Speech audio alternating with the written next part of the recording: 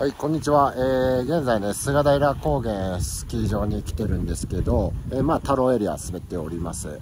えー、雪ね、めちゃくちゃ良くなってて、えー、ハイシーズンに逆戻り。えー、現在ね、3月の2日なんですけど、えー、もう本当に真冬の、えー、雪景色となっております。こんな感じで木にも雪がついてて、で、雪本当に1月のめちゃくちゃいい時と、もう遜色ないぐらいのコンディションとなっております。はい。こういう感じ。ぎゅーと。もう本当に雪がいい。で、ここ最近気温高くて雨降ったりしたんですけど、菅平もちょっと湿雪っぽい感じの雪が積もったりして、ただ、この昨日、今日あたり多分もっと冷え込んだのか、えー、雪がね、えー、いい感じのものが上についてて、中はちょっとどうなってるかわかんないですけど、そんな感じの雪となっております。電子柱やばいことなってんな、これ。相当ね、この北、北なのかな、こっち。こっちが本来なら妙高とかが見えるんですけど、もう雪が吹きつけまくってこんな感じとなってます。木も多分ね、樹氷みたいになってるワンチャン。これやばいな、この雪の感じ、これ。単管パイプにつきまくったこの雪が。かったこれカッチカチやで、これ。ほんま。カッチカチや、カッチカチや、ほんまに。やばいわ。って感じなんですけど、ちょっとゲレンデの状況をね、今日もお伝えできればなと思います。現在12時でして、もう僕、今日ね、あの、一人で滑ってるんで、まあ、誰かにないとダメっすね。えすごい寂しい。みんなね、あの、全日本行っちゃったんで、僕以外で。自分だけ下手くそだから、ちょっとね、取り残されたという感じなんですけど、まあね、こればかりは仕方がない。まあ、この、林道の感じも、すごいいいね。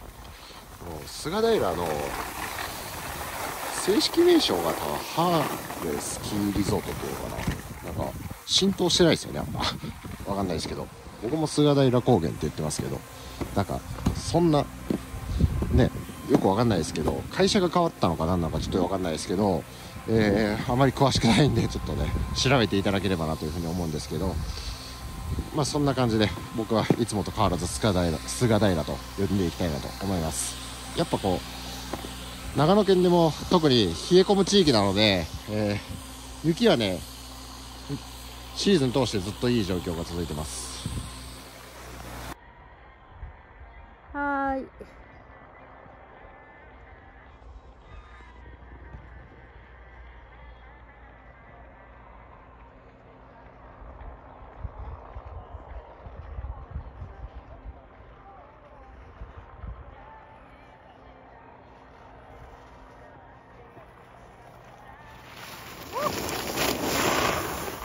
クソ滑りにくいよこの雪 なんかカラカラカラって感じ。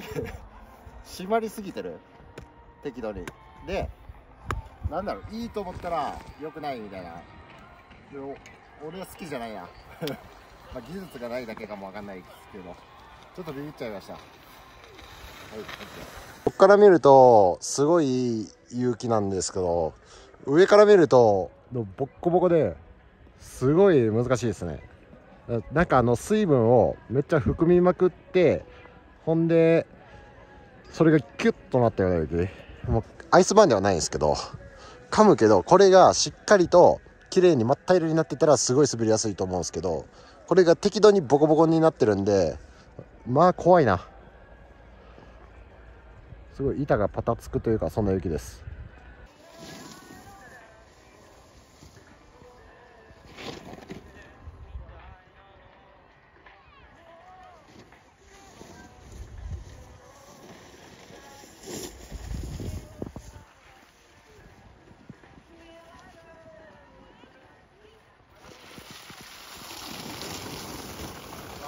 胸かぶっちゃったな。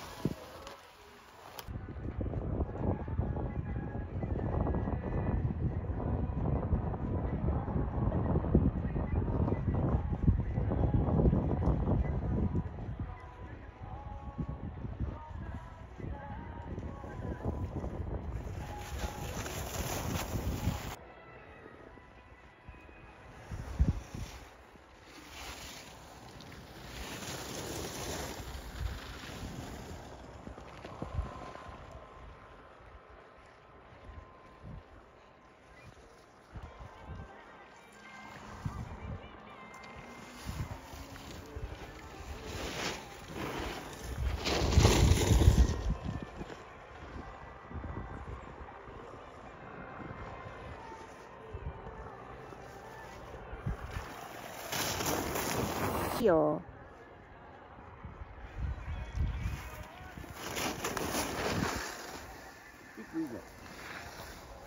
これ落とされて殻が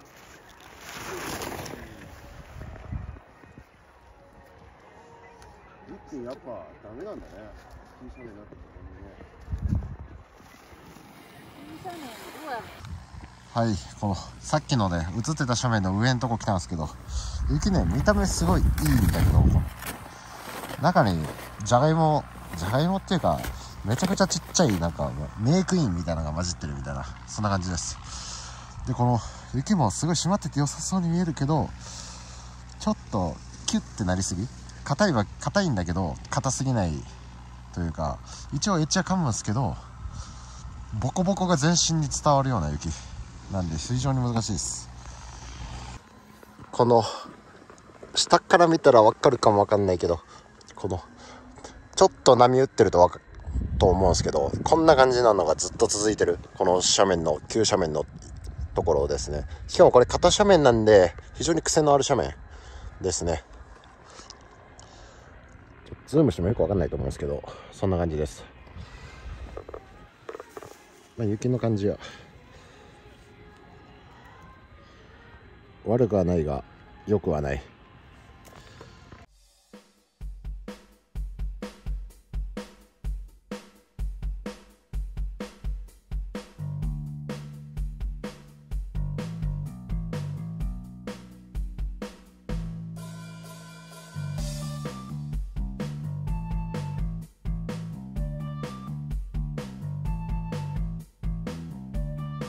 えー何本か滑ってみたんですけどめちゃくちゃ雪むずいなやっぱ。もうポンポン跳ねるし、えーエッチングが非常にむずい、まあ、こういった雪で、えーしっかりとターンをもっと刻んで刻んでいきたいんですが、まあ、なかなかねこうよく見えるからこそ逆にむずいような感じなんで、えちょっとねもうちょい修行が必要かなというふうに思います。